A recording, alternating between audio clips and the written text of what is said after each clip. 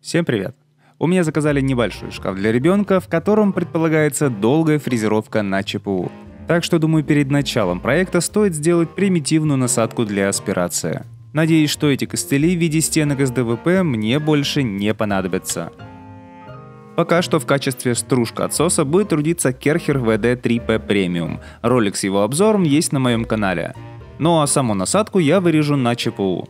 Сначала хотел сделать ее раскладной, чтобы крепить сбоку, когда нулевая точка уже установлена. Но потом решил не умничать и сделал насадку цельной. Не думаю, что будет сильно неудобно после установки нулевой точки поднять шпиндель на 3 см, установить насадку и вернуть его на 3 см вниз. Опять же, повторюсь, насадка примитивная. Да, конечно, можно было сделать конструкцию с плавающей щеткой, но ее я планирую сделать, когда куплю мощную систему стружка отсоса.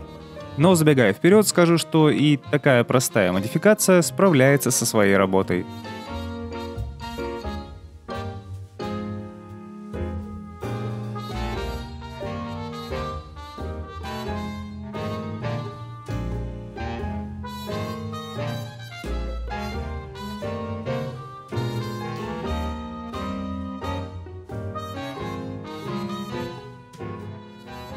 После фрезеровки деталь садится на шпиндель очень плотно, так что дадим ей немного свободы с помощью щетки от Детера.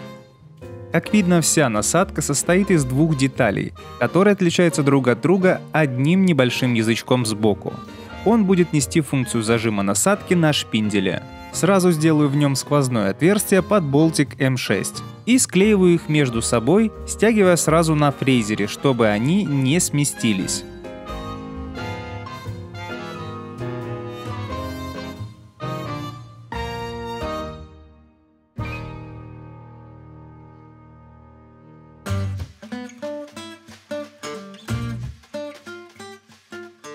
Через 30 минут делаю пропил с одной стороны, где расположено ухо. И тем самым мы получаем жесткий хомут.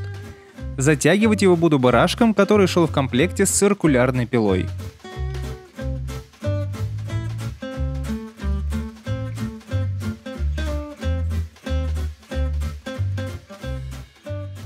По сути, все, что осталось, это закрепить по периметру материал, который сможет сохранить достаточную мощность всасывания, а также не будет мешать движению головы. Обычно все используют пластиковый ворс от каких-нибудь бытовых щеток или веников. Но у нас сейчас локдаун, так что использую то, что есть в наличии. И сначала я решил попробовать прозрачный тонкий акрил. Отрезал небольшую полоску шириной приблизительно 7 см, закрепил ее на хмуте с помощью саморезов и отмерил нужную длину. В таком виде акрил толщиной в 1 мм достаточно жесткий, поэтому с помощью сабельного резака для бумаги я делаю небольшие надрезы с одной стороны –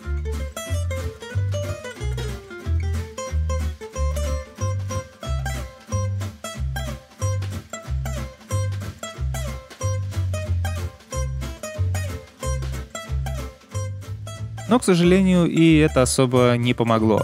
И тогда я попробовал второй вариант, в котором уже использовал кожзам, оставшийся от каретной стяжки. Вероятнее всего, его может сразу засосать. Так что придадим ему немного жесткости путем склеивания двух полосок кожзама. Использую клей для поролона. На саморезы прикручиваю к хомуту, отрезаю лишнюю длину и делаю такие же надрезы снизу. Держитесь, это еще не конец, потому как пылесос мгновенно засосал ткань.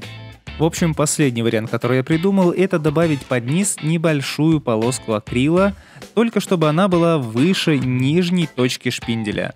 Да, и это вариант, в принципе, такой себе. Короче, как откроются магазины, поменяю на пластиковые щетки. Длины шланга Керхера не хватает, так что пришлось взять шланг от старого пылесоса и скрутить его скотчем.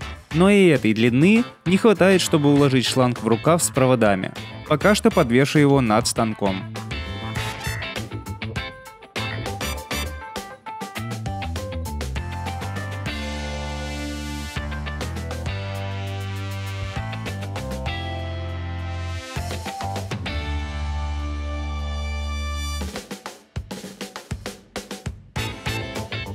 Ну и пришло время затестить, работает ли наша система. Я устанавливаю ее на такую высоту, чтобы фреза была ниже насадки приблизительно на 5 мм. И что еще важно, это перепроверяйте все перед запуском, потому как с пылеудалением вы не видите место обработки и не можете контролировать процесс. Вот я, например, не сразу заметил, что не затянул фрезу.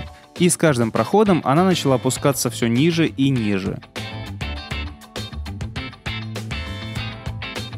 Ну что ж, ладно, это будет не уроком. Затягиваю фрезу и пробую еще раз. В комментариях многие наверняка захотят написать, что пылесос на такую долгую работу не рассчитан. Ну что ж, сегодня 5 ноября 2021 года, давайте посмотрим, насколько его хватит. Ну а при таком контровом свете можно заметить, насколько хорошо все работает. Во-первых, стружка не попадает на профиль, по которому ездят колеса.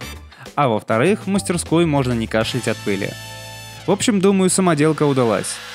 Ну и как обычно, если видео вам понравилось, то ставьте лайк, подписывайтесь на канал и увидимся в следующем ролике. Пока!